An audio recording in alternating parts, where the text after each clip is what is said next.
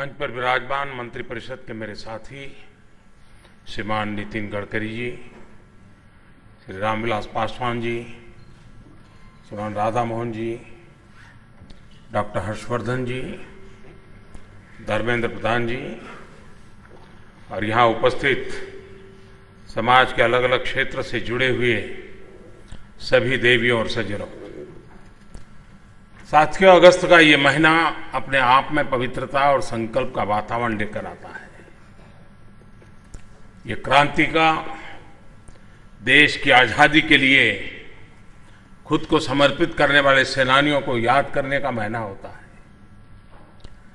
स्वतंत्रता दिवस के साथ ही इस महीने में अनेक त्योहार आते हैं जो हमारे सामाजिक और सांस्कृतिक जीवन को समृद्ध बनाते हैं। आने वाले सभी पर्वों के लिए मैं आप सबको बहुत बहुत शुभकामनाएँ देता हूँ। हमारी परंपरा में, हमारे उत्सवों में, हमारे त्योहारों में प्रकृति का, पर्यावरण का बहुत ही ऊँचा स्थान है। आज का ये आयोजन भी प्रकृति, पर्यावरण और आधुनिक परंपराओं से जुड़ा हुआ है। मैं आप सभी को विश्व बायोफ्यूल दिवस की बधाई देता हूँ। साथियों, सवा सौ करोड़ देशवासियों के जीवन को कैसे बेहतर किया जा सके, इसके लिए सरकार अनेक कदम उठा रही है, लगातार प्रयास कर रही है नई नई योजनाएँ बना रही है। गाँव की अर्थव्यवस्था को ताकतवर बनाना, गाँव के किसान की आय बढ़ाना पेट्रोल, डीजल, गैस का विकल्प तैयार करना और पर्यावरण को सुरक्षित करना, ये हमारी सरकार की प्राथमिकताओं में है। बायोफ्यूल इन लक्ष्यों को हासिल करने में अहम भूमिका निभाने वाला है। बायोफ्यूल पर्यावरण और हमारी आर्थिक उन्नति के बीच तालमेल बिठाने में बड़ा सहायक बनने की शक्ति रखता है। साथियों, बायोफ्यूल सिर्फ़ विज्ञान नहीं है, बल्कि वो मंत्र है जो 21वीं सदी के भारत को, और न सिर्फ़ भारत को, पूरे विश्व की मानव जात को नई ऊर्जा देने वाला है।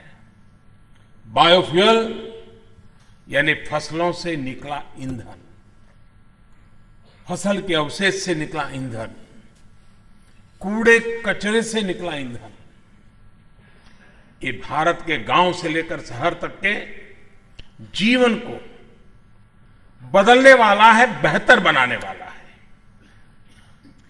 और अभी जो फ़िल्म दिखाई गई, उसमें एक पुरानी कहावत को भी याद किया गया। आम के आम और गुठली के दाम। बहुत पुरानी कहावत है। उसका एक प्रकार से आधुनिक रूप है।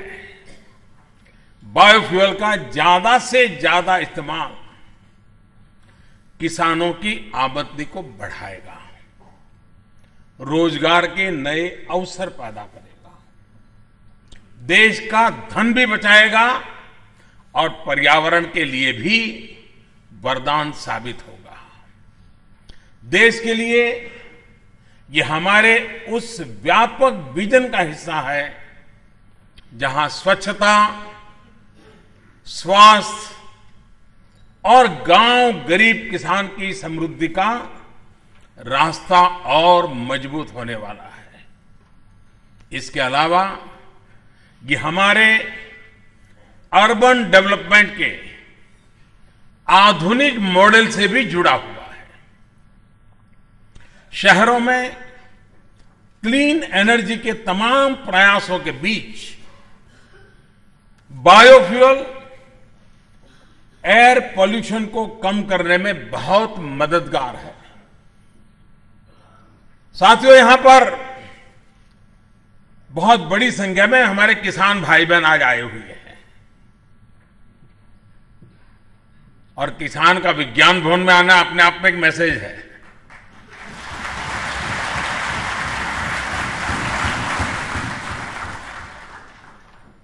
देश के अधिकतर हिस्सों में बारिश की स्थिति अलग अलग है। कहीं बाढ़ है तो कहीं बारिश का बारिश का इंतज़ार है। हम लगातार उस खबरों को देख रहे हैं। कहीं संतोषजनक बारिश का एक आनंद भी होता है तो कहीं बारिश के अतिरेक के कारण परेशानियों से चिंता भी होती है। खास करके मेरे किसान भाइयों बहनों अब तो धान समेत खरीफ की तमाम फ़सलों की बुआई। मैं समझता हूँ करीब करीब देश के हर कोनों में पूरी हो चुकी है। और आपकी जानकारी में है कि सरकार ने चौदह खरीफ फ़सलों का न्यूनतम समर्थन मूल्य लागत का डेढ़ गुना तय किया है।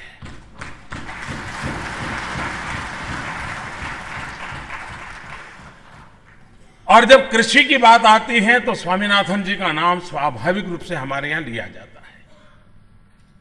और मुझे खुशी है कि अभी दो तीन दिन पहले श्रीमान स्वामीनाथन जी ने एक आर्टिकल के द्वारा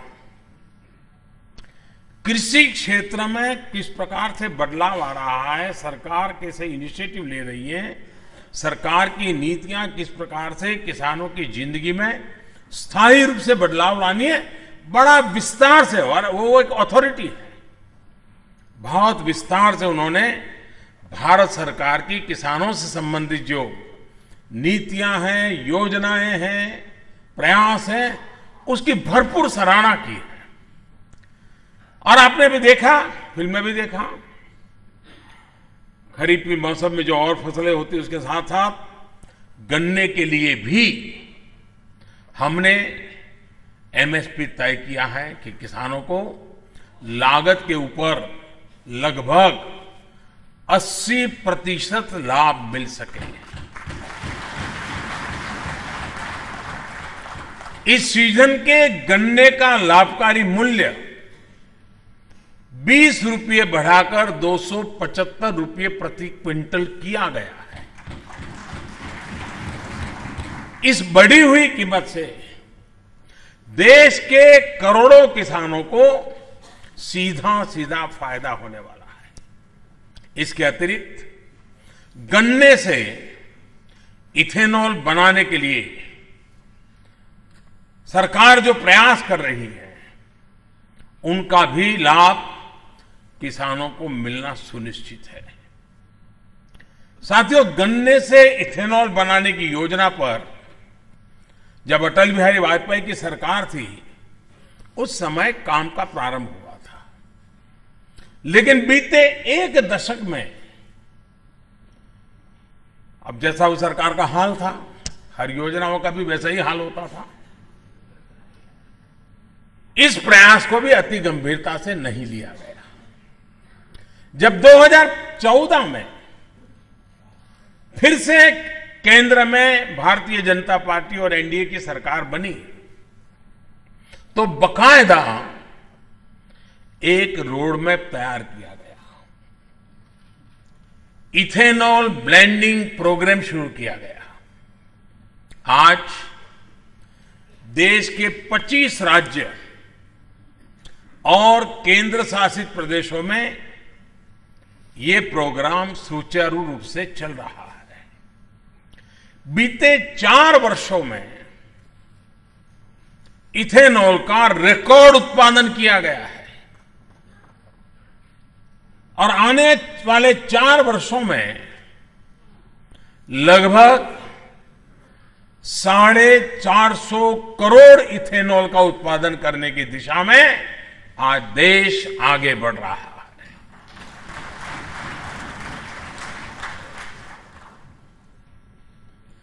साथियों, इथेनॉल ने न सिर्फ़ किसानों को लाभ पहुँचाया बल्कि देश का पैसा भी बचाया है।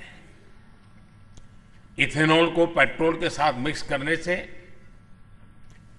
पिछले वर्ष देश को लगभग चार हज़ार करोड़ रुपए के बराबर की विदेशी मुद्रा की बचत हुई है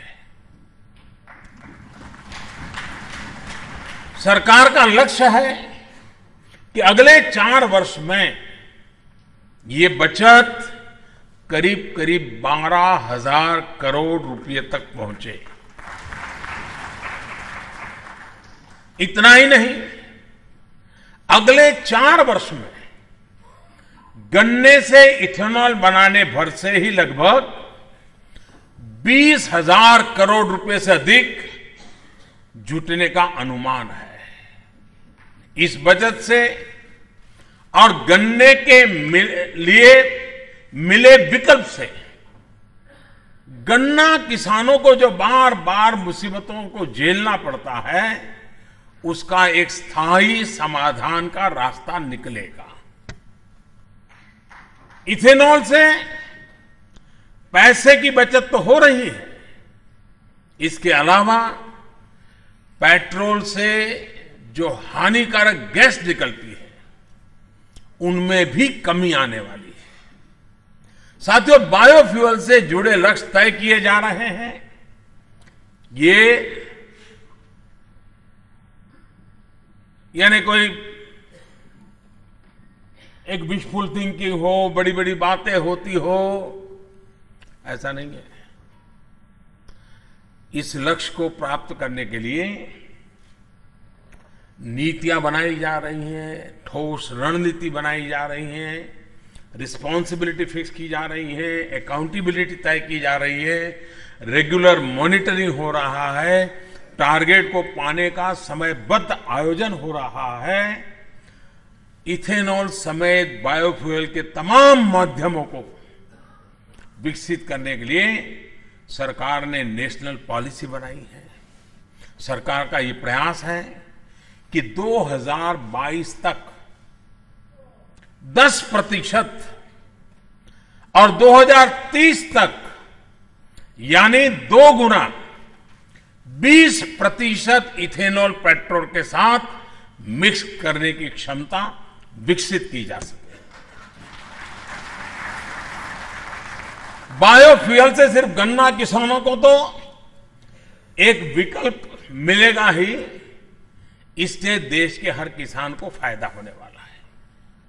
हमारे गेहूँ, चावल, मक्का, आलू, सब्ज़ियाँ, हम सब जानते हैं।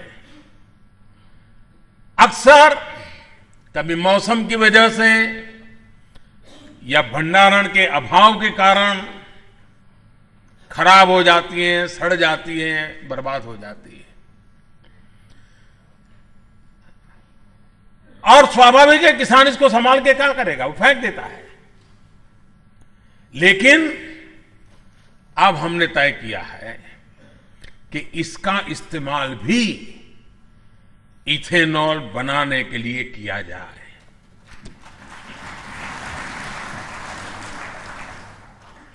एक और समस्या किसानों के सामने है कि प्राकृतिक प्राकृतिक कारणों से फ़सल में कुछ कमी रह जाती है।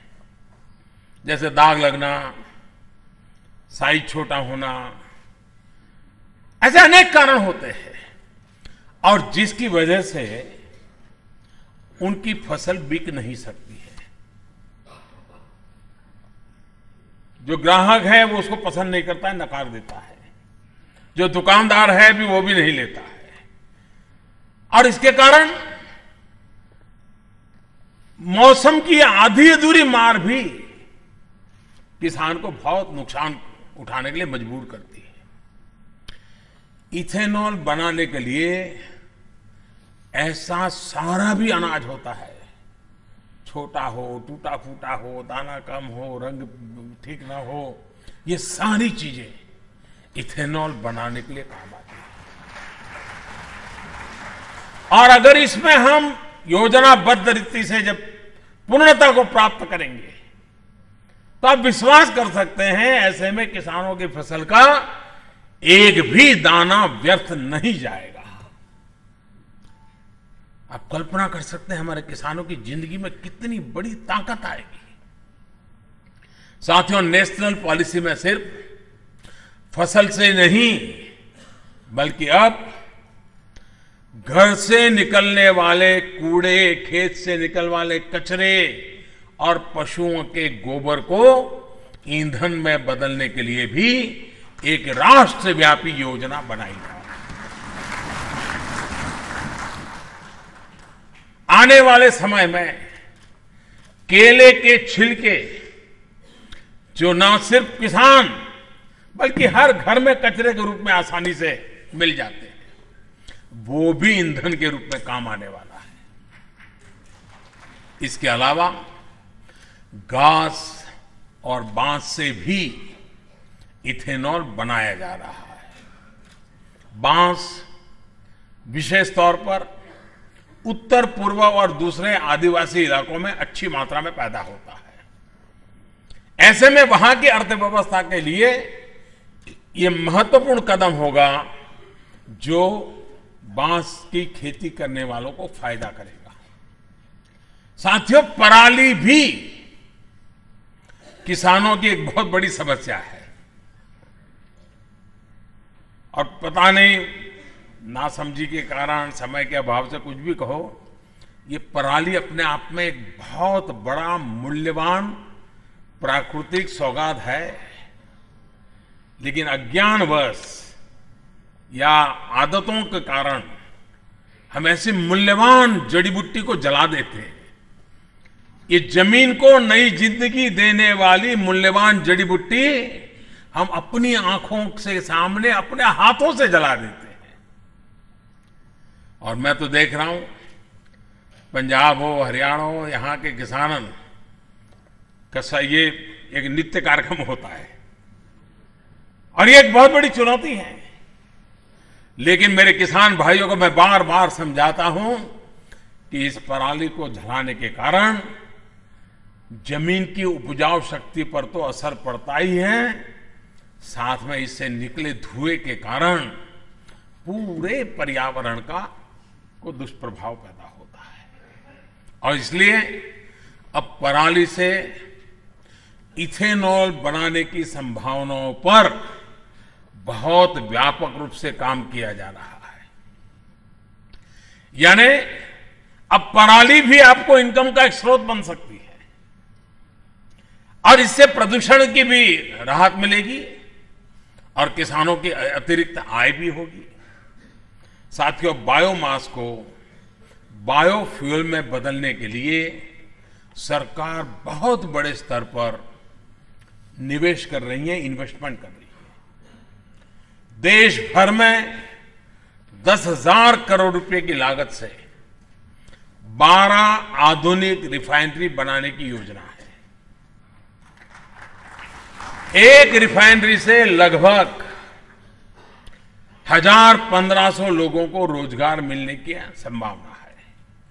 यानी रिफाइनरी के संचालन से लेकर सप्लाई चेन तक लगभग डेढ़ लाख नौजवानों को रोज़गार के नए अवसर उपलब्ध होंगे। इसके अलावा गोबर से ईंधन बनाने की योजना भी प्रगति पर है। पिछले बजट में आपने देखा होगा, हमने एक योजना घोषित गोबर धन। इस गोबर धन योजना के तहत पूरे देश के हर ज़िले में एक बायोगैस प्लांट लगाया जा रहा है। अभी 700 700 प्लांट्स बन रहे हैं, लेकिन आगे इसको और विस्तार दिया जाएगा। देश भर के किसानों, सेल्फ हेल्प ग्रुप्स, इन सबको इसमें जोड़ा जाएगा। साथियों, आज गोवर्धन वन धन जनधन इन योजनाओं से गरीबों, किसानों, आदिवासियों के जीवन में एक नई आर्थिक संभावनाएँ, आर्थिक सामर्थ्य का एक नया बदलाव सुनिश्चित हो रहा है। न सिर्फ़ आपकी फ़सल, बल्कि पशु के गोबर का, खेत के अवशेष का, घर से निकले कूड़े, कचरे का, हर चीज़ का उचित उपयोग हो, इस दिशा में काम हो। इसके अलावा, जो जंगल में उगे पौधे और फल होते हैं, उनसे होने वाली आमदनी अलग। जब पतझड़ के मौसम में आप अगर जंगलों में जाने की आदत होगी तो आपने देखा होगा एक एक दो दो फीट पत्ते गिर करके पड़े होते हैं। ये भी अपने आप में बहुत बड़ी कमाई का साधन बन सकता है। ये वेस्ट टू वेल्थ का अभियान तो है ही। साथ में इससे स्वच्छ भारत अभियान को भी गति मिल रही है। क्योंकि यही वेस्ट गंदगी का भी बड़ा कारण है।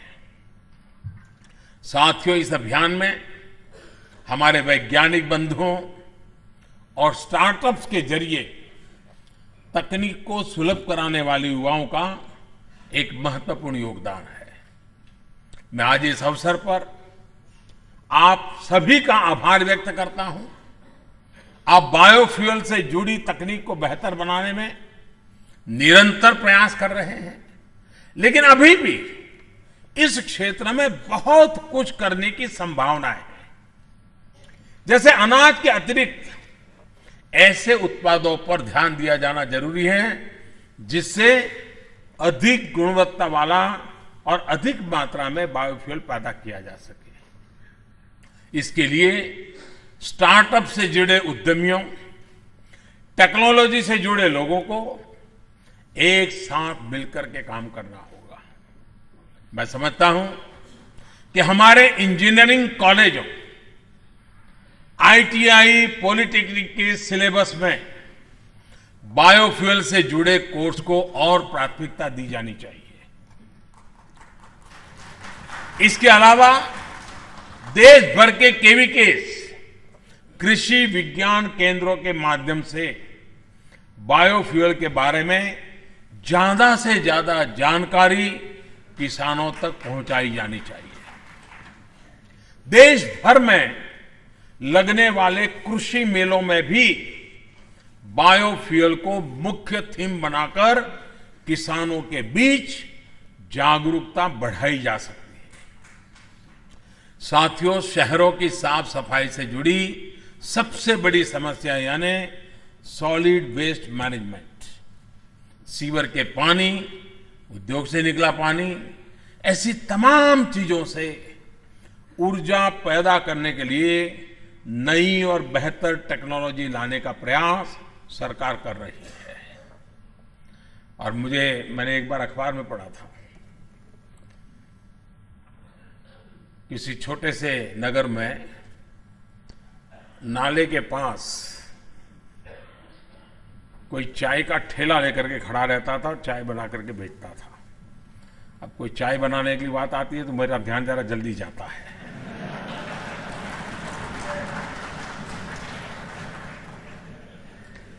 और वहीं पर एक नाली, गंदी नाली जाती थी।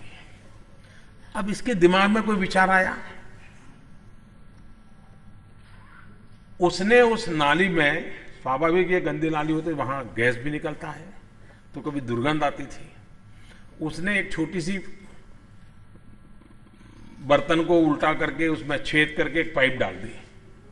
और जो गटर से गैस निकलता था, वो पाइपलाइन से उसके अपने चाय के ठेले में ले लिया। और वो चाय बनाने के लिए उसी गैस का उपयोग कर करके चाय बनाता था। सिंपल सी टेक्नोलॉजी। है यानी कैसे उपयोग होता है? वैसे चाय वालों का काम ये ज़्यादा ज़्यादा रहता है। एक बार मैं जब गुजरात में था तो मैंने देखा कि हमारा कॉन्वॉय जा रहा था और आगे एक स्कूटर पे बड़ा जो ट्रैक्टर का ट्यूब होता है, वो पूरा अंदर भरा हुआ है वो लेकर के जा रहा था। आप कल्पना कर सकते स्कूटर पे इतना बड़ा ट्रैक्टर का ट्यूब कोई लेके जा रहा है तो पीछे आने वाले व्हीकल को डर लगता है, कहीं टकरा न जाए। मैं भी हैरान था कि ऐसे कैसे ले जाता है। कोई भी व्यक्ति समझदार तो यही करेगा ट्यूब खाली कर देगा और चला जाएगा और आगे जाकर के हवा भर देगा। तो ले जा रहा था। वगैरह यार रोक के उसको।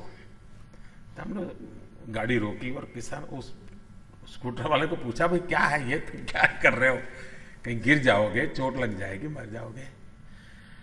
नहीं बोले खेत जा रहा हूँ। तो मैंने कहा ये क्यों ले जा रहे हो?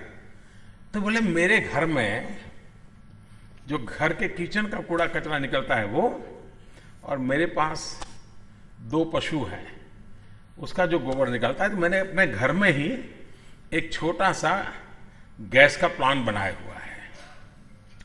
तो मैं उस गैस को इस ट्यूब में भरता हूँ और ट्यूब लेकर के खेत जाता हूँ। और खेत में जाकर के उससे मेरा पानी का पंप चलाता हूँ। आप कल्पना कीजिए हमारे देश का किसान।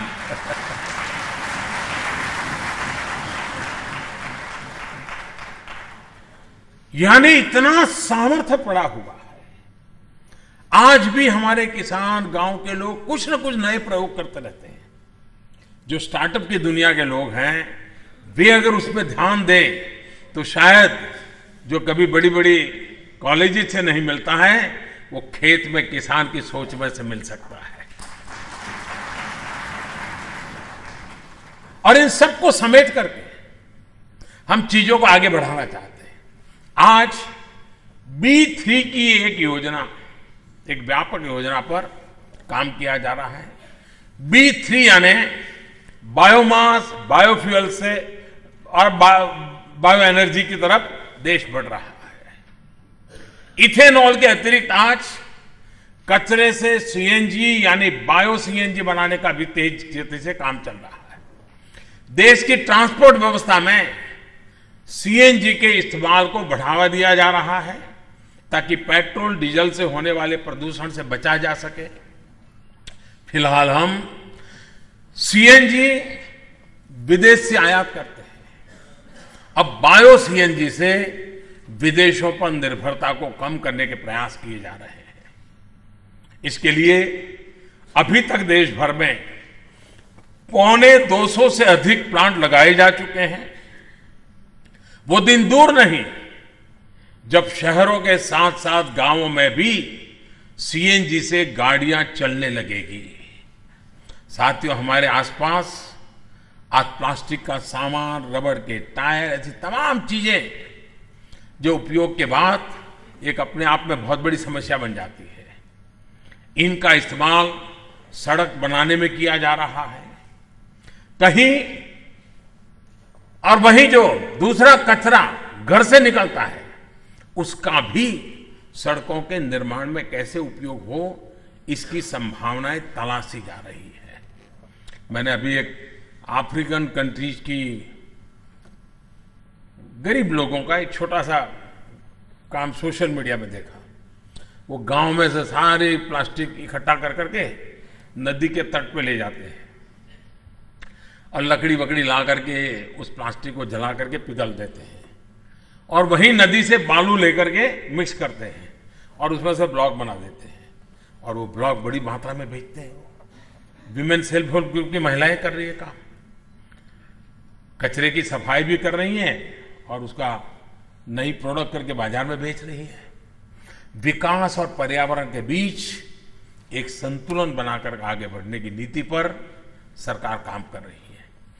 पर्यावरण के साथ संतुलन की जब हम बात करते हैं, तब बिजली का एक महत्वपूर्ण रोल है। बिजली कैसे पैदा होती है और कैसे इस्तेमाल होती है, इसका पर्यावरण पर सीधा प्रभाव पड़ता है। जब बिजली पैदा करने की बात आती है तो आज कोयले और गैस जैसे पारंपरिक तरीकों के साथ सोलर एनर्जी समेत तमाम दूसरे माध्यमों से बिजली बनाने पर भी ज़ोर दिया जा रहा है। इंटरनेशनल सोलर अलायंस के ज़रिए तो हम ना सिर्फ़ भारत में, बल्कि पूरे विश्व में सौर ऊर्जा का प्रचार प्रसार कर रहे हैं। आज खेती में सोलर पंप से लेकर उद्योग धंधा दफ्तरों में सौर ऊर्जा के इस्तेमाल पर काफ़ी प्रगति हो रही है। इसके अलावा देश की गलियों, घरों और दफ्तरों में एलईडी बल्ब की रोशनी सुनिश्चित करने से बिजली की बचत हो रही है। और मुझे प्रसन्नता है कि अब देश के रेलवे स्टेशन एलईडी बल्ब से जगमगाने लगे। सारा काम उन्होंने पूरा कर दिया। अब लक्ष्य ये है कि आने वाले दिनों में रेलवे की हर बिल्डिंग और रेलवे प्ले क्वार्टर्स में भी शत प्रतिशत एलईडी बल्ब लगाए जाए। रेलवे ही नहीं, हमारे पोर्ट्स भी ग्रीन होते जा रहे हैं, एलईडी लाइट्स को बढ़ावा दे रहे हैं, पर्यावरण की चिंता स्वच्छ भारत, स्वस्थ भारत के मिशन से जुड़ी हुई है। धुआँ मुक्त रसोई भी इसी व्यापक विजन का हिस्सा है। आज मैं इस मंच से देश के उन पाँच करोड़ गरीब परिवारों को बधाई देता हूँ, उन माताओं, बहनों को बधाई देता हूँ, जिनको धुएँ से मुक्ति मिली है।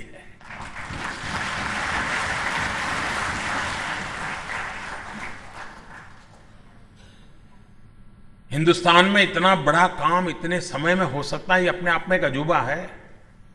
हमारे देश में सवा सौ करोड़ जनसंख्या है। और करीब करीब 25-26 करोड़ परिवार है। इन 25-26 करोड़ परिवार में पाँच करोड़ परिवारों को गैस का चूल्हा इतने कम समय में पहुंचाना ये अपने आप में अब हिसाब लगा सकते हैं कि तेज गति से काम होता है तो कितना परिणाम आता है। साथियों, आज दिन भर किसान भी होंगे टेक्नीशियन भी होंगे गवर्नमेंट के अफसर भी होंगे। आप सब मिलकर के बायोफ्यूल को लेकर चर्चा करने वाले हैं। उससे जुड़ी चुनौतियों पर विचार करने वाले, विचार विमर्श करने वाले हैं। किसान की जो रोज़मर्रा की प्रैक्टिकल प्रॉब्लम्स है, उसकी चर्चा करने वाले हैं। और मुझे विश्वास है कि इसे सवा सौ करोड़ देशवासियों की ऊर्जा जरूरतों और खेती को लाभकारी बनाने के लिए अनेक नए सुझाव आएँगे, अनेक नए रास्ते बनेंगे। बायोफ्यूल से बदलाव की क्रांति घर घर सिर्फ़ सरकार के प्रयासों से नहीं पहुँच पाएगी, बल्कि इसके, इसमें हमने हमारे छात्रों को, हमारे शिक्षकों को, हमारे वैज्ञानिकों को, हमारे उद्यमों को, उद्यमियों को, यानी एक प्रकार से जन भागीदारी से जन आंदोलन का रूप हमको देना पड़ेगा। मेरा यहाँ मौजूद जो राज्यों के प्रतिनिधि आए हैं, उनसे भी आग्रह है कि देश के गाँव गाँव तक बायोफ्यूल के लाभ पहुँचाने के लिए अपने स्तर पर भी अतिरिक्त प्रयास करें। और मैं, मुझे विश्वास है कि बायोफ्यूल की दिशा में भारत ने जो इनिशिएटिव लिए हैं, और विश्व आज बायोफ्यूल डे मना रहा है तब, भारत ग्लोबल वार्मिंग से चिंतित विश्व को एक विश्वास देने का सामर्थ्य रखता है। भारत के इन कदमों की आज पूरे विश्व में सराहना हो रही है। भारत की नीतियों और योजनाओं को विश्व बड़े गौर से देख रहा है और उसमें आज का ये प्रयास नई ऊर्जा भरेगा, दिशा को और अधिक स्पष्ट करेगा और गति तेज करेगा। इसी विश्वास के साथ इस सफल योजना के लिए मैं आप सबको हृदय से बहुत बहुत शुभकामनाएँ देता हूँ। धन्यवाद।